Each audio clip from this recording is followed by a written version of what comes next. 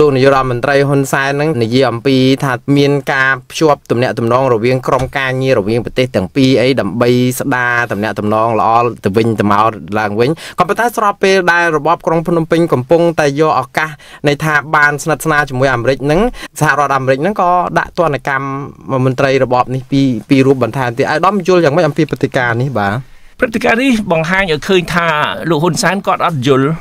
គាត់អត់យល់អីទាំងអស់ ហើយបើទោះជាគាត់យល់គាត់ចង់បំភាន់សាធារណមតិនៅប្រទេសកម្ពុជាគាត់អះអាងថាឥឡូវនេះសហរដ្ឋអាមេរិកចង់យកចិត្តគាត់ចង់សម្រួលឲ្យមានតំណែងល្អជាមួយសហរដ្ឋអាមេរិកហើយគាត់យកលិខិតលោកប្រធានាធិបតី Donald Trump យកមកបកស្រាយតែគាត់ភ្លេចចំណុចមួយដ៏សំខាន់ក្នុងលិខិតនោះ ខ្លឹមសារនៅលិខិតនោះគឺលោកប្រធានាធិបតីសហរដ្ឋអាមេរិក Donald Trump គឺដាស់តឿនហើយជំរុញឲ្យលោកហ៊ុនសែនគោរពគោលការណ៍លទ្ធិប្រជាធិបតេយ្យធ្វើឲ្យលទ្ធិប្រជាធិបតេយ្យរស់ឡើងវិញនៅប្រទេសកម្ពុជាអានេះជាការជំរុញហើយជាការប្រមានយ៉ាងធ្ងន់ធ្ងរតែលោកហ៊ុនសែនអត់យកអាចំណុចសំខាន់នោះយកមកនិយាយយកតែចំណុចអីដែលគេថាគេមានបំណងល្អគេចង់ជួយស្រុកខ្មែរនោះជាការធម្មតាភាសាទូតប៉ុន្តែចំណុចសំខាន់នោះគឺគេសំពងហ៊ុនសែនថាហ៊ុនសែនឯងធ្វើខុសហើយហ៊ុនសែនឯងសម្រាប់លទ្ធិប្រជាធិបតេយ្យនៅប្រទេសកម្ពុជាបើចង់មានតំណែងតំណងល្អជាមួយសហរដ្ឋអាមេរិកហ៊ុនសែនឯងត្រូវតែធ្វើឲ្យលទ្ធិប្រជាធិបតេយ្យរស់ឡើងវិញនៅប្រទេសកម្ពុជានឹងគាត់អត់និយាយសោះតែឥឡូវនេះអ្វីដែលជាក់ស្ដែងឃើញថាគាត់តែឆ្លើយឆ្លងសមុទ្រនោះជាមួយប្រធានាធិបតី Trump តែប្រហែលថ្ងៃស្រាប់តែរដ្ឋាភិបាលសហរដ្ឋអាមេរិកណាដាក់ទណ្ឌកម្មយ៉ាងធ្ងន់មកលើចំណិតអ្នកដែលស្និទ្ធស្នាលជាមួយលោកហ៊ុនសែនលោកគុណគីមលោកត្រីដែលជាអ្នក បំផ្លាញកាប់ព្រៃឈើដែលយកលុយទៅឲ្យហ៊ុនសែនសន្ធឹកសន្ធាប់នោះឥឡូវនេះគេដាក់ទណ្ឌកម្មគេចាត់ទុកជាជនអូក្រិតយោងតាមច្បាប់ Magnitsky ខ្ញុំសូមរំលឹកថា Magnitsky នឹងជានរណា Magnitsky នោះដូចជាកែមលេងអញ្ចឹងតែកែមលេងនៅប្រទេសរុស្ស៊ី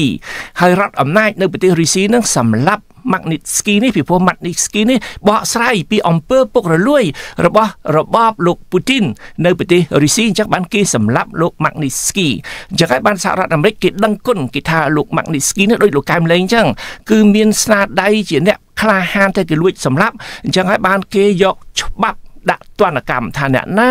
ដែល ទទួលខុសត្រូវក្នុងការសម្លាប់លោក Magnitsky ត្រូវតែទទួលទោសអាមេរិកនឹងដាក់ទណ្ឌកម្មឥឡូវនេះវារៀលដាលមិនមែនសម្លាប់ទៅលោក Magnitsky ទេអ្នកណាសម្លាប់លោកកែមលីអ្នកណាដែលសម្លាប់លទ្ធិប្រជាធិបតេយ្យគឺគេយកច្បាប់នេះយកមកអនុវត្តឲ្យគេដាក់ទណ្ឌកម្មមកលើជនអូក្រិតនៅប្រទេសកម្ពុជាជនអូក្រិតហ្នឹងគឺក្រុមគ្រួសារហ៊ុនសែនអ្នកនៅធ្វើការជំវិញលោកហ៊ុនសែនហើយជាការសោកស្ដាយលោកហ៊ុនសែនថាអត់ខ្វល់អត់ខ្វល់អ្នកណាដែលថាអត់ខ្វល់នោះគឺអត់កិត្តិយសពីព្រោះគេដាក់ដាក់ទណ្ឌកម្មនោះទោះជាយើងរង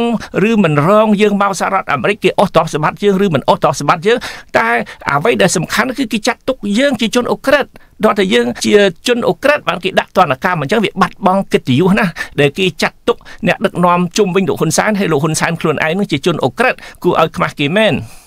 បាទអាដាមតកតងជាមួយនឹងទណ្ឌកម្មនេះវាកាត់ឡើងមិនមែនជារឿងចៃដន្យពេកទេតើ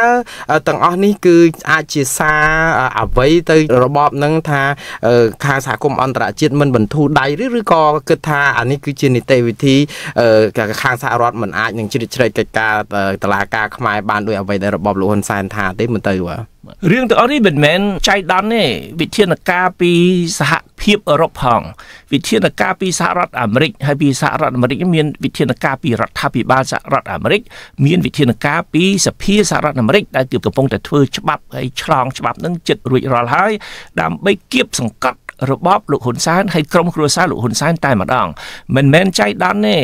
នេះជាការងារដែលសហគមន៍អន្តរជាតិកំពុងតែបំពេញហើយនឹងបំពេញតទៅទៀតដើម្បីជំរុញឲ្យលោកហ៊ុនសែន ធ្វើឲ្យលទ្ធិប្រជាធិបតេយ្យរស់ឡើងវិញនៅកម្ពុជាហើយនិយាយជាក់ស្ដែងទៅគឺឲ្យដោះលែងអ្នកទោសនយោបាយទាំងអស់គឺដោះលែងលោកកឹមសុខាមុនគេដោះលែងដោយទម្លាក់ចោលការចោតប្រកាន់មកលើលោកកឹមសុខាហើយបើលោកកឹមសុខាត្រូវគេទម្លាក់ចោលការចោតប្រកាន់គឺទម្លាក់ចោលការចោតប្រកាន់មកលើមន្ត្រីគណៈបកសង្គ្រោះជាតិទាំងអស់អញ្ចឹងមានន័យថាត្រូវតែធ្វើឲ្យគណៈបកសង្គ្រោះជាតិរស់ឡើងវិញពីព្រោះយកលេសថាមន្ត្រីគណៈបកសង្គ្រោះជាតិមានទាំងលោកកឹមសុខាផងដែរមានទោសតែឥឡូវត្រូវទទួលស្គាល់ថាលោកអត់មានទោសទេអត់មានកំហុសអ្វីទេអញ្ចឹងគឺត្រូវធ្វើឲ្យគណៈបកសង្គ្រោះជាតិដំណើរការឡើងវិញការងារទាំងអស់ហ្នឹងគឺវាឆ្ពោះទៅគោលដៅដែលយើងចង់បានទាំងអស់គ្នាគឺឲ្យលទ្ធិប្រជាធិបតេយ្យរស់ឡើងវិញនៅប្រទេសកម្ពុជាបាទគណៈកម្មការអឺរ៉ុបនឹងចេញសេចក្តីសម្រេចចុងក្រោយមួយអស់ពេលបិទផ្លូវតវ៉ាហើយគឺនៅថ្ងៃទី12ខែកុម្ភៈអាដាមតើការប៉ុនប៉ងវិលទៅប្រទេសកម្ពុជាវិញនឹងនៅតែរក្សាទៀតទេហើយពេលនោះហើយគឺជាពេលទ្រោមមែនតើណាបើតាមមើលនៅពេលដែលបើគេសម្រេចតែព្យួរការអង្គពន្ធគ្មានការតវ៉ា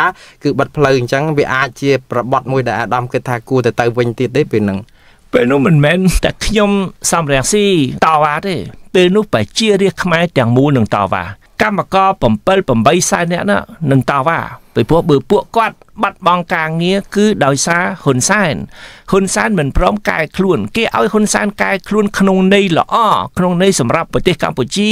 ទទួលបានលទ្ធិប្រជាធិបតេយ្យប្រជាប្រដ្ឋខ្មែរទទួលបានសិទ្ធិសេរីភាពពេញលេញឡើងវិញ នឹងវាមានអីអាក្រក់ប្រជារាស្ត្រខ្មែរចង់បានតែប៉ុណ្្នឹងតាតែឥឡូវហ៊ុនសែនមិនព្រមដោយសារហ៊ុនសែនមិនព្រមបានមានទណ្ឌកម្មអន្តរជាតិអញ្ចឹងយើងត្រូវតែធ្វើម៉េចតវ៉ាទាំងអស់គ្នាឲ្យសំរាំងស៊ីហើយជាមួយប្រជារាស្ត្រខ្មែរគ្រប់មជ្ឈដ្ឋានយើងតវ៉ាទាំងអស់គ្នាថាយើងចង់បានសេរីភាពដើម្បីធ្វើម៉េចកុំឲ្យគេដាក់ទណ្ឌកម្មបើយើងទុករបបហ៊ុនសែនសេរីភាពក៏អត់ការងារក៏បាត់ ដោយសារតនកម្មអន្តរជាតិយើងត្រូវតែទៀមទាឲ្យលោកហ៊ុនសែនផ្ដល់សេរីភាពឲ្យយើង ពេលនោះសេរីភាពយើងក៏បានមកវិញយើងមានលទ្ធិប្រជាធិបតេយ្យក្នុងស្រុកខ្មែរហើយយើងរក្សាការងាររបស់យើងរបស់កម្មករទាំងអស់រហូតទៅដល់កសិករដែលគេបិទ ទីផ្សារនាំស្រូវអង្ករចេញទៅលក់នៅសហភាពអឺរ៉ុបក៏អញ្ចឹងដែរក៏វាមានផលប៉ះពាល់ច្រើនដែរអញ្ចឹងយើងទាំងអស់គ្នាត្រូវតែរួមកម្លាំងគ្នាហើយខ្ញុំក៏សូមអំពាវនាវទៅកងកម្លាំងប្រដាប់អាវុធកងកម្លាំងប្រដាប់អាវុធមិនត្រូវការពាររបបហ៊ុនសែនទេរបបហ៊ុនសែនធ្វើឲ្យខូចខាតផលប្រយោជន៍ជាតិយ៉ាងធំធេងហើយរបបហ៊ុនសែនធ្វើឲ្យប្រទេសជាតិយើងបាត់បង់កិត្តិយសហ៊ុនសែនគាត់ថាគាត់អត់ខ្វល់បពពួកគាត់ថាអត់ខ្វល់ប៉ុន្តែគេចាត់ថ្នាក់ដឹកនាំប្រទេសកម្ពុជាជាចៅជាជនអូក្រិតអញ្ចឹង យើងបាត់បង់កិត្តិយសហើយបើមេដឹកនាំរបស់យើងជាជនអូក្រិតដែលគេមើលងាយដោយសពថ្ងៃយើងគួរណាស់ឈឺឆ្អាលឈឺចាប់មិនត្រូវបណ្ដោយឲ្យជនអូក្រិតដឹកនាំប្រទេសយើងដោយសពថ្ងៃទេខ្មែរយើងទាំងអស់គ្រប់មជ្ឈដ្ឋានមានទាំងកងកម្លាំងប្រដាប់អាវុធផងដែរមិនត្រឹមតែតវ៉ាត្រូវតែរើបំរាស់ដើម្បីផ្ដួលរំលំរបបប្រជាការរបបក្បត់ជាតិដឹកនាំដោយហ៊ុនសែនសពថ្ងៃនេះ